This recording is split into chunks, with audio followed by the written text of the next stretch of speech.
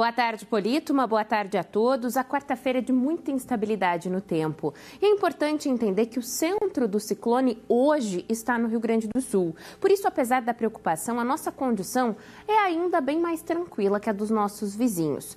A projeção é que ele faça esse movimento entre a tarde de hoje e à noite desta quarta-feira, o centro do ciclone, que são esses pontos em vermelho, ele deve sair das áreas de dentro do estado e se locomover em direção ao litoral gaúcho. E amanhã ele segue esse movimento em direção ao mar. E é justamente nesse período da madrugada de quinta e manhã de amanhã que nós devemos ter os reflexos mais intensos aqui em Santa Catarina. Não com chuva, mas com ventos muito fortes. Com essa projeção, o alerta da Defesa Civil em relação ao ciclone nas próximas horas mantém como pontos de maior preocupação as áreas mais próximas ao Rio Grande do Sul.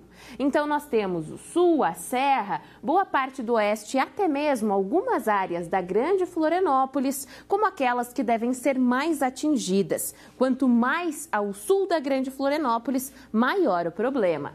Volumes de até 100 milímetros são esperados. Isso normalmente é o que a gente tem no mês, mas eles podem ser registrados em apenas um dia.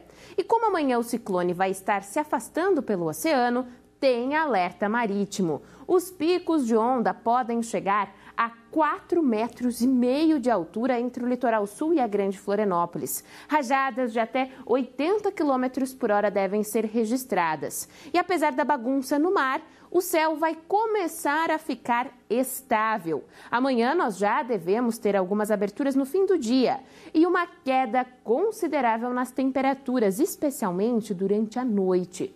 Uma oscilação entre 16 e 21 graus é esperada em Floripa, entre 13 e 22 em Biguaçu e entre 10 e 19 em Alfredo Wagner.